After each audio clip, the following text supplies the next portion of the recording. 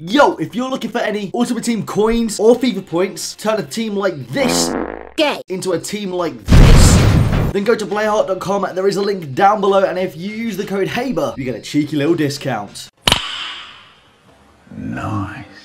Hey what is up lads and welcome to a brand new potential winter upgrades video on my channel. Now you guys are loving these videos so I decided to bring you guys another one. This one is actually a little bit different. It's going to be a different style but I'm going to try to keep it similar because you guys really do enjoy this series. Straight into it, the first one is Douglas Costa. You guys have been suggesting this guy in the comment section down below like mad. Pretty much everyone in this video you guys have been su suggesting in the comment section down below and I've pretty much replicated their first inform or their second inform in pretty much all of the, these cards because I think that's what they deserve the upgrade wise. Plus to upgrade because that's what his inform card is, I believe, or maybe his inform card is plus one, and I've given him a plus two because why not? 93 pace, 88 dribbling, 78 shooting. He's already a beast in FIFA. I've got him in my team at the minute as a right mid, and this card would just be absolutely phenomenal with those five-star skill moves. The next one is Pierre-Emerick Aubameyang. You guys have absolutely smashed this guy's name in the comments section down below so many times, I thought, you know what, I'd finally put him in a video. I haven't actually been watching the Bundesliga this year, so I don't know if he deserves it or not, but you guys have been saying like mad that he does, and he has had two informs of FIFA this year already, and this would be a pretty sick card. The next one I completely and 100% agree with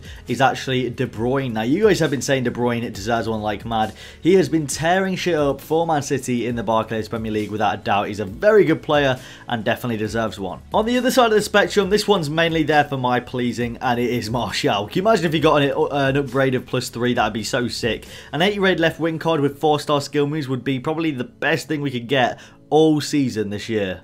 The next one being Robert Lewandowski. He actually has been tearing shit up in the Bundesliga so far. I believe he is top or joint top, maybe even second uh, top goal scorer in the Bundesliga this year. Yeah, I remember he scored five goals in nine minutes and got a purple card for it. It's absolutely insane. Plus one overall for him, 88 rated, 81 pace, 90 shooting. What a card this would be. If he got a four-star seal upgrade as well, that'd just be the icing on the absolute cake. Second to last now being Neymar. He has been incredible nominated for the Ballon d'Or at a really young age and he's just been absolutely phenomenal in the BBVA this season. I believe he's top top goal scorer in the BBVA and he's been absolutely destroying as Messi has actually been out injured. He's back now. He was out injured and Neymar actually stuck uh, stood up to the plate very very well and I agree with this upgrade 110%. Last but not least now we've got Xherdan Shaqiri. Honestly this guy has been fantastic for Stoke Alona. He's been so so good. I agree this upgrade definitely needs to happen happen.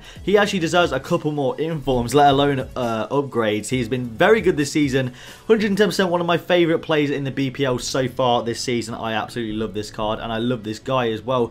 Anyway, lads, that's the end of the video. If you guys did enjoy this video, leave a like down below. Subscribe if you guys aren't around here. We're already so close to 4,100 subscribers. That is absolutely fantastic. If we can smash like 60 likes on this video, that'd be phenomenal. And I'll see you lads later.